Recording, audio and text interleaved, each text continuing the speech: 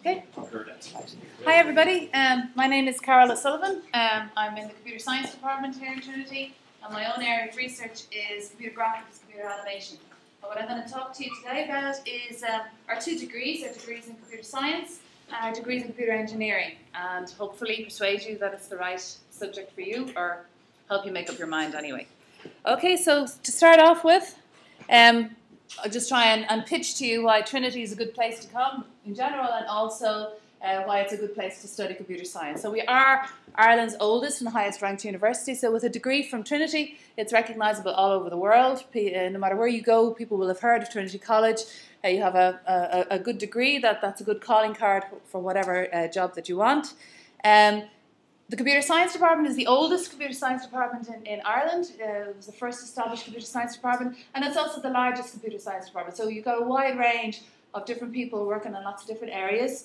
Um, it's an international university. It's top research going on all across the university, and including in computer science and in engineering.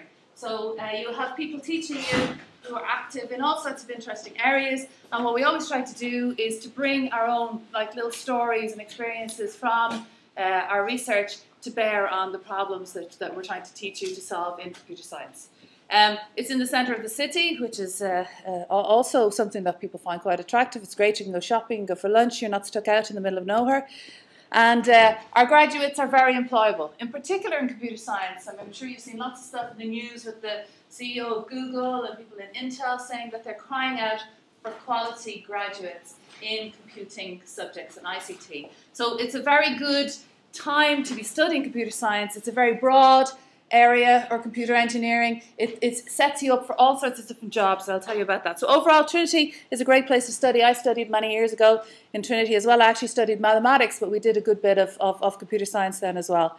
And then I worked as a software engineer for several years in industry before coming back to do research. And uh, now I'm a professor in visual computing. Okay, so let's talk first of all about the BA in computer science. So that's kind of the main computer science degree, or it's like the major in computer science, so to speak.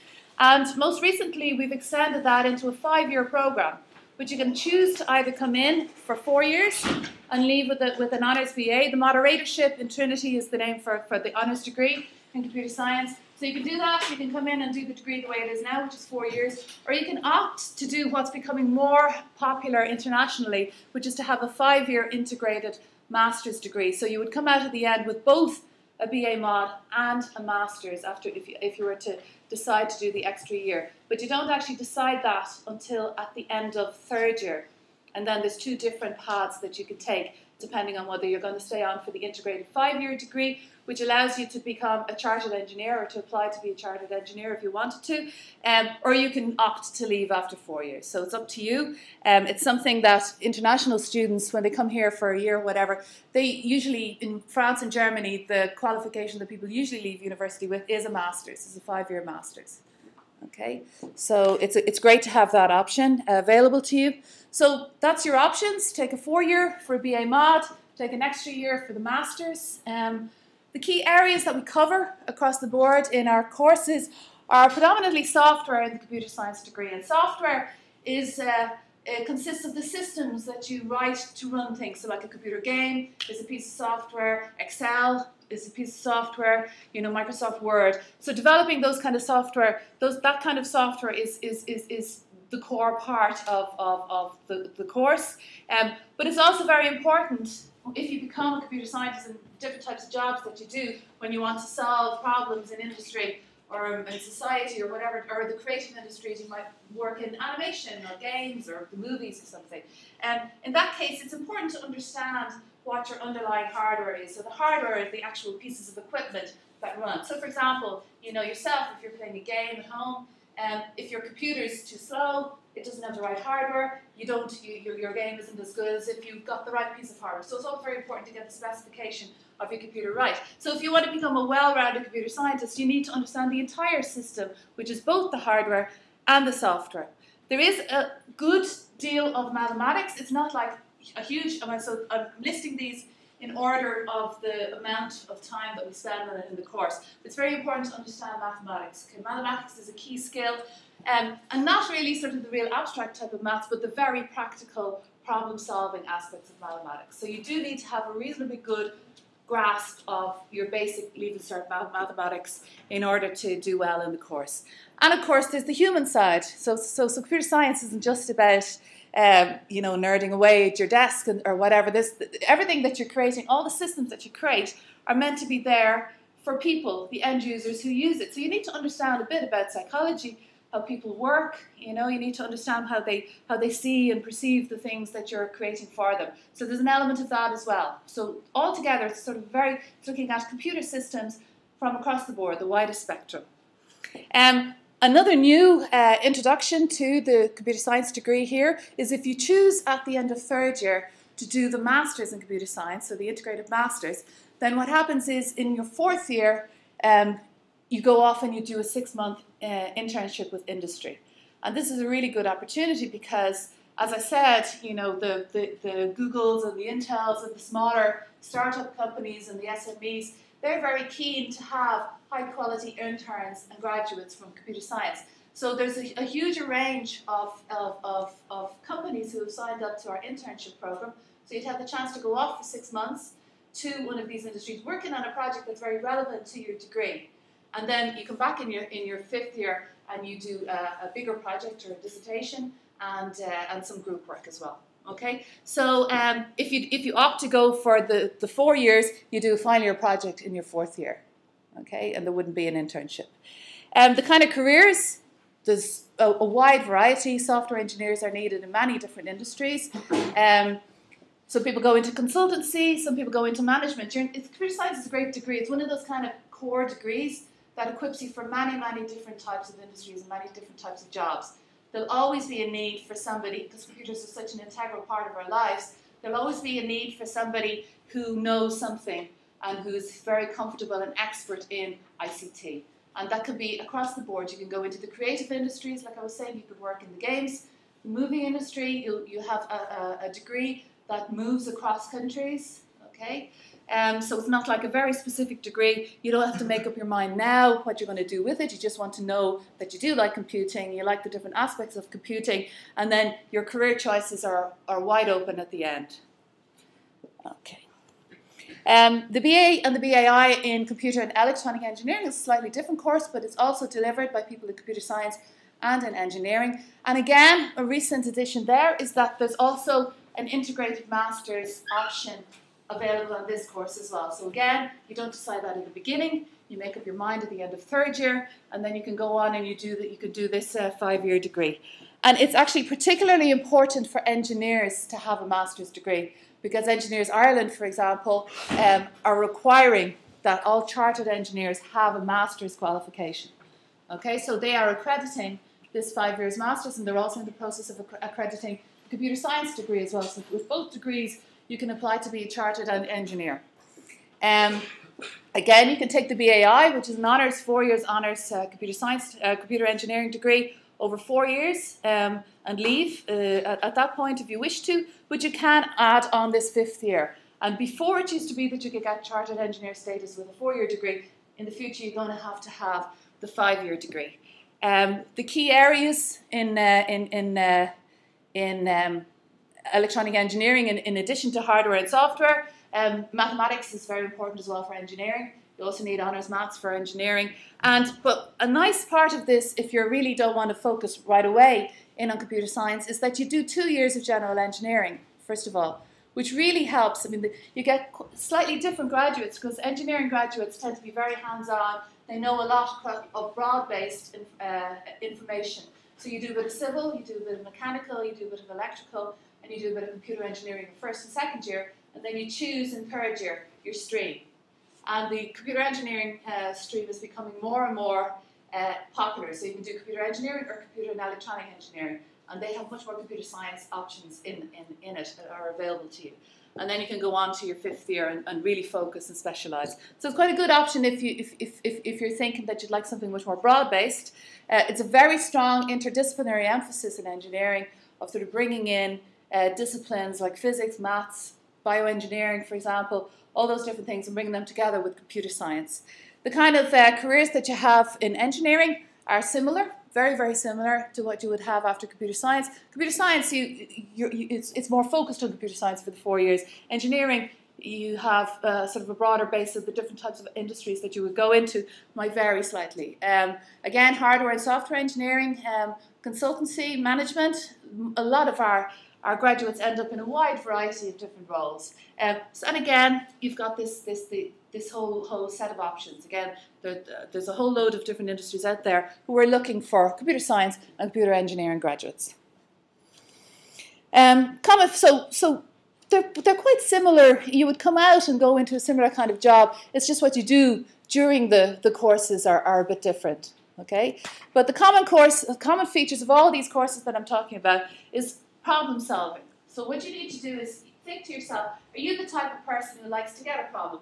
And a problem could be anything, just something that you're trying to solve in your daily life, and you like to sort of work through it step by step and try to see what are the steps, what would be the best ways, what would be the options of tackling that. So, kind of being able to see a logical set of steps that you need to take to solve your problem. That's what you need for computer science and computer engineering.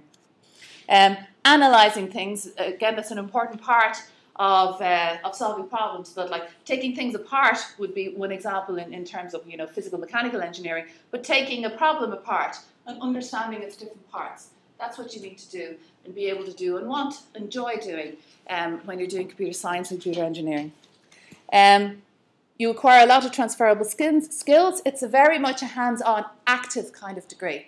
So you're always doing stuff in labs, you're, you're, solving problems, you're working in teams, and while you're doing, you're doing presentations maybe, you're talking to, to, to companies, you're going out doing an internship maybe, you're doing a final project, there might be a, a company involved uh, with that as well. Okay, so um, you're getting a lot of transferable skills, skills that you can transfer into the job that employers find useful.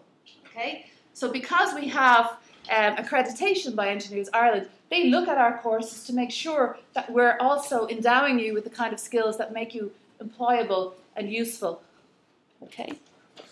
Um, but our teaching is, is, is, is, is one, of, one of our strongest qualities as well. And one of the reasons our teaching is so good is because Trinity is so strong in research. And we have so many exciting research projects and good researchers, and we all teach. Okay, so we all teach, all of those who are active in research we also actively teach. And uh, what we'd like to do is to bring our research in to inform our teaching. So you're, you're actually getting, getting examples and getting access to people who are really at the cutting edge of research in, in these areas. High graduate employability, I've said that before. Many, many companies there. It's really one of the areas where there is not rising unemployment, where there's attra attractive jobs um, um, to, to be had. Um, there's also lots of choice. It's not like a course where you're really restricted um, to a single path and you do this and first year, this in second year. There's a certain element of that in the early years, of course, as you get the groundings. But as you go on into your later years, the amount of choice and the different options that you have are very, very wide. So depending on your tastes and your abilities and your skills and uh, what you enjoy doing, you're able to kind of you know uh, take a different strand or a different pathway in your degree. And then finally, um, there's lots of working together. It's not like a, something where you're in the library all the time with your head in books. Okay, there's a bit of that, of course, there always is, but there's an awful lot of teamwork. So there's a lot of working in the labs together, working on projects together, um, and uh, that's, that's, that's very satisfying for, for, for, for most people. It's also something you really need in work. I mean, that's what very often employers, they don't really care that much about your undergraduate degree as long as it's a good degree in a, in a sort of a cognitive. What they want to know is can they get you in? Will you work in a team? Can you work with people from a different area? Can you respect other people's points of view? So there's lots and lots of opportunities of doing that in both of these degrees. Okay, the balance of workload, lectures, tutorials, labs, reading, projects, um, and exams. So this, this kind of breakdown. But you can see there's a lot of practical work that needs to be done. Okay. So project work is just as much and just as big as the lectures. Lectures are just a quarter of the work. Um, why would you want to look for a job in ICT? So now there's never been a better time, okay, to choose a job in ICT or a degree that will qualify you and make you attractive to employers in ICT. It's uh, the exports in 1910 alone were 50, 50 billion euros, which is 25% of Ireland's total turnover. So when you think of that, okay, agriculture used to be sort of the biggest sort of uh, um, um, employment or activity in Ireland, 25% is now software. Okay, um, employment is massive, and and they they're, they're still saying that they can't get enough quality gra- graduates in ICT. So not only is it a good uh, subject to to choose, it's also good for the country for to, for you to, to study this subject because then you, you, you are contributing to these companies, these high quality companies here. We've, we've placed graduates with all of these companies here. These, these companies actively recruit from our degrees because they know that there are high quality graduates coming out of our degrees. Okay, so it's, it's, it's, it's, it's, there's never been a better time to choose ICT as part of the government strategy for, for renewing the knowledge-based economy, etc., blah, blah, blah, of the country, okay? Um, not only have, uh, do we contribute by educating graduates who go on to, to, to populate these companies and end up in management and, and senior positions in these companies, but th- we've also been contributing to uh, the Irish economy by uh, graduates actually setting up companies. So some of the best examples out of the computer science department. Um, Havok is one company. Havok is a company that makes middleware for computer games. Um, it's, it's, it's one of Ireland's most successful software companies. It was bought by Intel a couple of years ago for $100 million. It was set up by people who are in my own research group, uh, Steven Collins and Hugh uh, Reynolds. They set it up, um, and it's, it's used in almost every game that you see where you ever see any physics or character character physics or whatever. Iona Technologies and Demonware are also, two, uh, also examples and the rest of hugely successful companies. Okay, so we were right at the core, at the heart of the ICT industry in Ireland. Um, points and entry requirements. Um, as I mentioned before, mathematics is important. You do need to have a C3 or higher in mathematics. And this is, this is something that's, that's important because all that analysis and problem solving is very much correlated with ability in mathematics. And it doesn't have to be kind of esoteric mathematics, just like the, the, the general purpose problem solving aspect of mathematics that you do in your Leaving Cert course. That's a pretty good indicator. If you, if you like that, if you're reasonably okay at it, you don't have to be a genius, you don't have to be Albert Einstein, but you do need to be comfortable enough with your, your sort of basic Leaving Cert mathematics. Right? Uh, the points for engineering um, last year were 410, and the points for computer science were 385. And last year we saw an enormous increase in the number of applicants for both the, the computer science and the computer engineering options uh, because people know they can see that this is where the future lies for employment in Ireland. Um, okay, so that's kind of the broad base. I uh, just want to give you a little flavour of some of the research that you that you might sort of come across if you came to study here. So my own area is visual computing. And the visual computing is basically uh, research into any aspects of images, animations, 3D models, 3D graphics, games, etc. Um, and uh, one area in particular that I work work on is uh, human animation and human uh, uh, crowd and crowd simulation. And I'll show you a movie. Hopefully, it'll run okay. Um, so here, for example, I just some examples in the industry of where virtual humans and animation are important. Uh, we've seen uh, motion capture technology being used for Gollum and Lord of the Rings, for avatars in, in the movie Avatar, slightly less successfully for Tom Hanks's character in uh, Polar Express. Um, we see a very similar area to computer graphics is actually uh, humanoid robots and androids. There's an example of a guy called Ishiguro who actually built an android of himself But to actually make a make an Android move, um, the, the science and the technology and the maths behind it is, is pretty much the same as making a human virtual character move. And we've got to the point in, in creating virtual character. Here's an example from Paul Debevec's group. Uh, and Paul Debevec was a guy, his group worked uh, on Benjamin Button, you know, the movie Benjamin Button, where the guy got older and older and younger and younger. Um, and uh, so we're actually able to get to the point where we can create pretty realistic virtual humans, but there's still something quite wrong. So um, if you notice, like a, the, the, most recent kind of uh, human, virtual human movies like Tintin and one Hugo, I think is the most recent one as well. They're going back to much more stylistic. They're trying to make it more like look like a cartoon because people find realistic, extremely realistic humans very uncanny and difficult to, to swallow. Okay, so some of the work that we've done, we've worked with Disney Research, who, uh, who uh, of course, Disney are trying very hard to make movies that people like and want to go and go to see. They've linked up with Pixar now. And we did a lot of work on creating interactions in little movies with virtual characters and then breaking them in different ways to try and find out what it is about virtual humans that freak people out.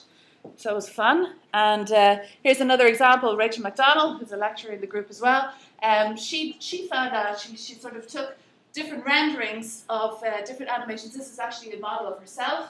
Um, she did high level renderings and more stylistic renderings and asked people questions about whether people were telling lies or not and found that the realistic human actually was found to be more of a liar than the, than the cartoon like, like humans. So here I'm just kind of give you a flavor of why, of why computer science isn't just about the technical nuts and bolts of creating things, it's also about the human side as well, because ultimately you need to create systems and animations and, and, and, and other, other outputs that people use and want to use. We've also done some work, here's another example of something that's available in industry, um, of, of, of, allowing art, architects to sketch in 3D um, so that they can create designs of, of models, and this was used um, to design a sculpture that's going to be appear in downtown Manhattan next year.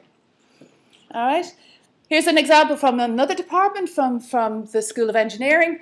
Anil Kokaram, um, uh, uh, who's the head of the SIG Media Group, uh, he's been involved for several years in restoring old movies and also doing post production on movies. And he actually won an Oscar in 2007 um, for work that he did with a company called The Foundry on, um, on, on, on, doing post production tools that were used in movies like The Matrix and many other movies that you see. It's kind of a common industry standard now, the, the plugins that he worked on. And his company called Green Parrot Pictures uh, has recently been bought by Google.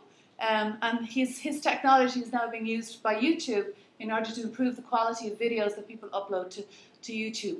And this is a person, um, he's, he, and his, his colleagues are teaching on the computer engineering degree as well. Um, so you would have access to people like that who are working in that kind of area and bring those kind of ideas and examples, which makes it much more motivating when you're doing the nitty gritty science. It's good to know what's that really used for in, in, in, in the real world. Okay.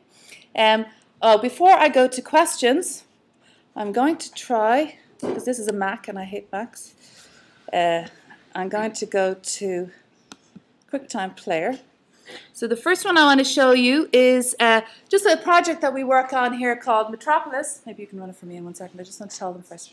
Um, a project called Metropolis where we built a virtual Dublin and then we populate it with virtual humans and crowds in a kind of a game-like environment, so it's real time. And that was a project that ran over the last four years, and we've just got a new European project now where we're going to use this technology in order to help people with um, Parkinson's, Alzheimer's, other types of problems to use it as an interventional therapy together with doctors. Okay, would you it? The sound, I think, is just on the laptop, but it's not important.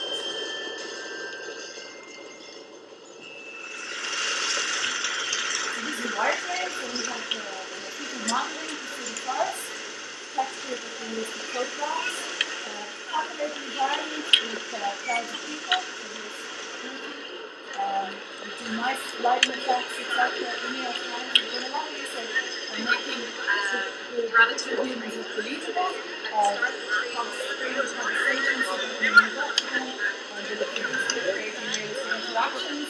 Um, things that are used in games a lot, you know, interacting between characters, trying to make that faster trying to make it more realistic. I'm sure you've all seen strange things in games that you know it's easy to know what's going wrong in games. We try to do things to find out how we can fix them um, very quickly. Because you see the difference between movies with plenty of time to, to solve the problems. In real-time games, you're doing it at 25, 60, 100 frames a second, so there's much less time to be able to actually fix what's going on. try to do things like work out how do groups interact with each other. So again, the human aspect of things. How do people behave when they're in a crowd? How do they? What kind of people do they like? How do they gravitate towards other people, etc. Okay. I'm going to close that one down. And uh, the next one I want to show is uh, a movie that was created this summer, um, and it's an example. It was it was a summer internship opportunity for two computer science students who worked with two students of animation from the Irish School of Animation in Ballyfermot. And they're the guys who've had the graduates who have, have had Oscar-winning graduates like Richie Baneham, who did the special effects of Avatar. And we worked together over the summer together with uh, a, a, small startup company called Giant Creative to create this movie. And it was a lot of fun, so I'm going to show it to you now. Okay, so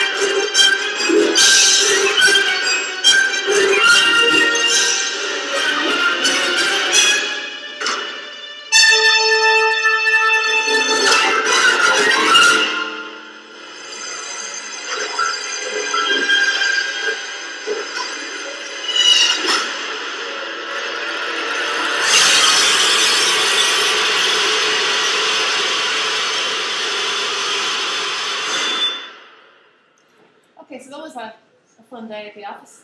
Um, so the making of this movie uh, is actually it's running up upstairs in the in the foyer that shows you kind of all the different steps that went through to solve that particular problem. So um, I'm going to finish up there, and uh, Jonathan over here is available to answer more. So I can answer them as well, but he's available. He knows all the nuts and bolts of the two degrees.